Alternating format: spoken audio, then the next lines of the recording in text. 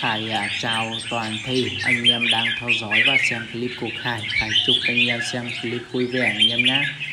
À, Nay Khải không có chim chia sẻ cho anh em. À, Như hôm nọ Khải nói Khải sẽ để lại một vài chiến binh để à, chơi để đi giao lưu cùng anh em. À, Thì à, đây là chiến binh mà Khải để lại anh em nhé.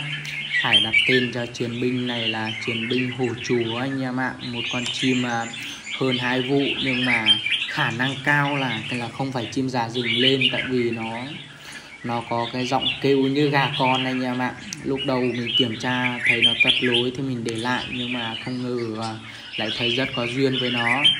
Thì à, giờ Khải sẽ để lại à, chiến binh này, Khải chơi. Khải sẽ thường xuyên quay clip về nó đăng lên để cho anh em xem giải trí anh em nhé à, rất mong anh em à, sẽ theo dõi và ủng hộ chiến binh của mình. À, Khải à, rất là cảm ơn toàn thể anh em. À, Khải sẽ cố gắng à, đi tuyển à, một buổi anh em ạ. Mấy hôm nay cũng à, bận đám cưới quá. À, với cả trời nó cũng mưa anh em.